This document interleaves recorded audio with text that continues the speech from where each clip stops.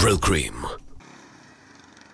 එක්සත් ජාතික පක්ෂ කෘත්‍යාධිකාරී මණ්ඩලයේ නිලකාලයේ පසුගේ දෙසැම්බර් තිස්සෙක් වනදායින් අවසන් වූ අතර අලුත් සාමාජිකයන් පත්කිරීමෙන් පසු අද පස්වර තුනට සිරිගොත පක්ෂ මූලස්ථානයේදී පක්ෂනායක රනිල් වික්‍රමසිංහ මහතාගේ ප්‍රධානත්වයෙන් නව කෘත්‍යාධිකාරී මණ්ඩල රැස්වීම පැවැත්වුණා.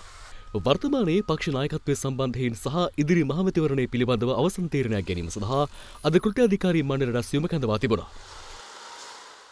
කෙසේ වෙතත් විපක්ෂනායක සජිත් ප්‍රේමදාස මහතා ඇතුළු කෘත්‍යාධිකාරී මණ්ඩල සාමාජිකයන් තිස් පස් දෙනෙක් අද පැවති එක්සත් ජාතික පක්ෂයේ කෘත්‍යාධිකාරී මණ්ඩල රැස්වීම වර්ජනය කරන බව පාර්ලිමේන්තු මන්ත්‍රී හරින් ප්‍රනන්දු මහතා අද දෙරණට සඳහන් කළා.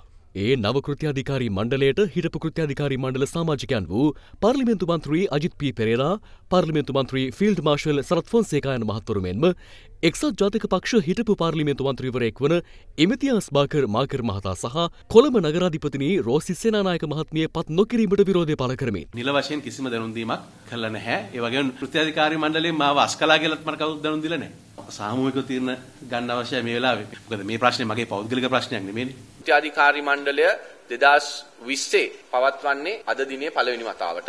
එයට මට ආරාධනා කරලා තියෙනවා. නමුත් මම දන්නේ නැහැ ඉවත් කරලා යම් කෙනෙක් තිබෙනවද කියලා. උත්‍යාධිකාරී මණ්ඩලයේ මිනිස්සු එළියට දාන්නයි. ඒ වගේ Tamanට ඕන ඕන මිනිස්සු ගෙනල්ලා ඒකට දාගන්නයි නම් ඒක පක්ෂයට ලැබිය යුතු ගෞරවය නොලැබීමක් හැටියටයි මම දකින්නේ. තිබෙන කට්ටිය කවුරු හරි ඉවත් වෙනවා නම් ඒක සාධාරණ හේතු මත සිද්ධ වෙන්න ඕන. නැත්නම් අලුතෙන් පත් කරනවා කියලා ඒ කට්ටිය අතැල්ලා දාලා හිටපු ගමන් නායකයාට බෑ පක්ෂේ නම් ලයිස්තුවක් ගෙල්ලා මෙන්න කෘත්‍යාධිකාරී මණ්ඩලය කියලා කියන්නේ. එහෙම කියනවා නම් මේක නායකයාගේ පුද්ගලික දේපලක් වගේ.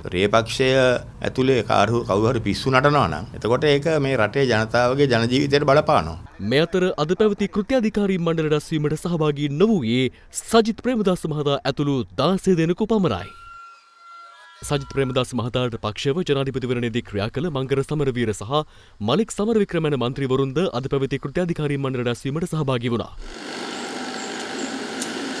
රැස්වීමෙන් පසුව හිදීගත් තීරණ පිළිබඳව කෘත්‍යාධිකාරී මණ්ඩල සභිකයන් අදහස් පළ කළා. දැන් අද දින කෘත්‍යාධාරී මණ්ඩලයේ රැස්වීමේදී සන්දානයේ නායකත්වය සජිත් ප්‍රේමදාස මහතාට දෙන්න ඒකමතිකව තීරණය වුණා. කෘත්‍යාධාරී මණ්ඩලයේ මන්ත්‍රීවරු 40 ගානක් අස්සම් කරලා දීලා තියෙනවා. සජිත් ප්‍රේමදාස මැතිතුමත් නායකතුමත් අත්වල බඳගෙන යන්න ඕන කියලා. ඉතින් ඒ අනුව පක්ෂ නායකත්වය දැන්ට ප්‍රණීල් වික්‍රමසිංහ මැතිතුමා ඒ තත්ත්වෙම ඉන්නවා. හැබැයි මේකේ බහුතරයක් සන්දානයේ බලය තියෙන එක්සත් ජාතික පක්ෂයට නිසා එක්සත් ජාතික පක්ෂයේ කෙනෙක් ලේකම් විය යුතුයි අනිවාර්යයෙන්ම කියන තීන්දුවත් අරගත්තා. 35 දෙනෙක් සහභාගී වුණේ නැහැ. නෑ ඒක වැරදි. අද වෙනකොට කෘත්‍යාධිකාරී මණ්ඩලයේ සමාජිකයන් 59 දෙනෙක් පමණ පත් කරලා තිබුණා. මේ 59 දෙනාගෙන් 37 දෙනෙක් අද පැමිණලා සිටියා. ඒ වගේම 6 දෙනෙක් එන්නේ නැහැ කියලා දැනුම් දීලා තිබුණා. ඒ අනුව අද 16 දෙනෙක් පැමිණලා සිටියේ නැහැ. මේ කෘත්‍යාධිකාරී මණ්ඩලය පැවැත්වුණා ඝනපූර්ණයක් තිබුණ නිසා. ඒ වගේම දෙදෙනෙක් පමණයි අද හිටපු අයගෙන් පත් කරලා නැත්. පසුගිය දවසක තිබුණ කණ්ඩායම් රැස්වීමේදී අජිත් පෙරමැතිතුමාගේ හැසිරීම සම්බන්ධයෙන් පක්ෂයේ විනය කඩ කරමින් කටයුතු කිරීම සහ ප්‍රකාශ කිරීම සම්බන්ධයෙන් කෘත්‍යාධිකාරී සභිකයන් ඒ සම්බන්ධයෙන් පක්ෂ නායකවරයාට දැනුම් දීලා තිබුණා.